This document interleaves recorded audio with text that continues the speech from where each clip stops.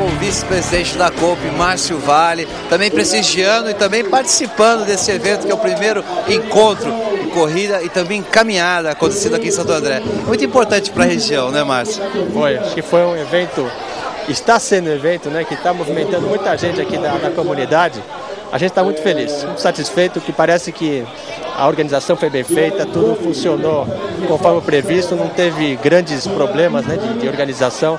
Os, os patrocinadores né, estão de parabéns, a gente precisa agradecer, a Polícia Militar, a imprensa, né, que está dando uma cobertura excelente, tinha até helicóptero aí supervisionando a corrida, Departamento de Trânsito eh, e os, os colaboradores da COP, né, os voluntários. Acho que foi eh, uma, uma, um trabalho de equipe, continua sendo.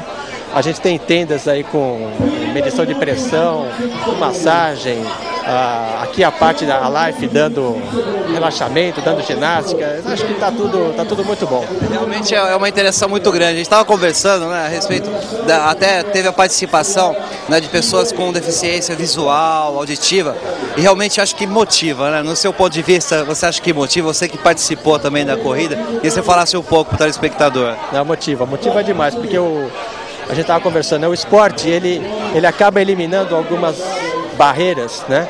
O esporte ele acaba tirando algumas diferenças que as pessoas às vezes podem imaginar que tem e na verdade não tem, né? E valoriza, resgata a autoestima. E nós tivemos mais ou menos 20 pessoas com necessidades especiais participando da prova. Teve uma premiação aí. Então, um pessoal que é, supera a dificuldade e, se a gente for ver, faz melhor que, que nós mesmos, que uma pessoa sã. Então, quando a gente fala de, de responsabilidade social, de melhoria de qualidade, qualidade de vida, nós estamos falando de melhorar a qualidade de vida na medida em que cada um precisa. Não é uma solução única para todo mundo, não é uma receita só. É uma coisa feita sob medida. E hoje acho que a gente está vendo um evento que está atendendo quem não quer correr, quem quer correr, quem quer caminhar, quem tem necessidade especial, quem não tem, quem veio só para se divertir, para ouvir música, para fazer uma ginástica.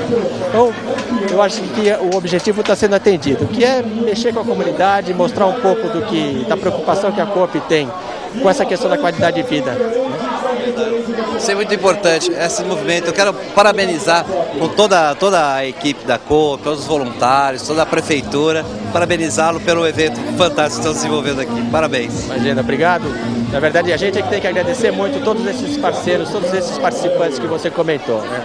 Uh, os patrocinadores, as prefeituras, os departamentos de trânsito, Polícia Militar, imprensa e os colaboradores da COP em geral. Obrigado.